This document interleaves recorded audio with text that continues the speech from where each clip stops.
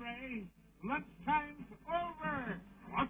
How did you two know I was here? A little sponge told us. This wasn't supposed to happen. Here you go, Plankton. What's this? It's the bill for your partner.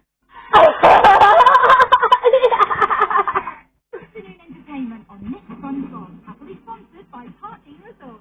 uh, soy at the end lunchbox.